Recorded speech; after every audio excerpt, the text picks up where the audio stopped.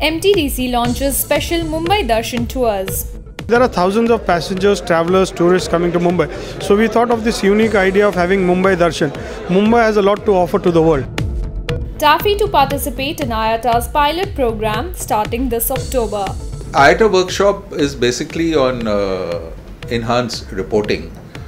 So currently we have given uh, four names from TAFI who would be doing the pilot project.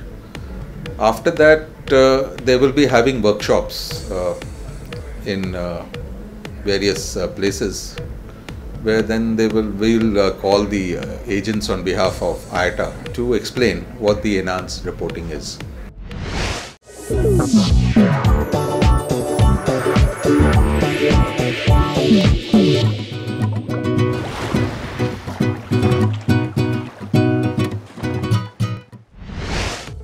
Reunion Islands welcomed 1,000 Indian tourists in 2015.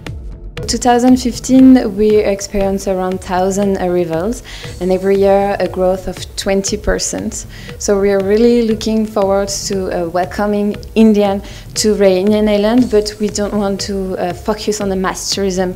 We prefer to have you know this kind of um, yeah focus tourism for adventure relaxation honeymoon Sri Lankan Airlines appoints a new brand ambassador. When it comes to Jacqueline Fernandez, she is one of the famous actresses in uh, India. Eventually, bring a lot of uh, publicity, business, and recognition for our company. Last year, we had the highest ever number of tourist arrivals coming into Sri Lanka from India with over a growth rate of 32%. And we are expecting this growth to be around uh, 4 lakhs this year.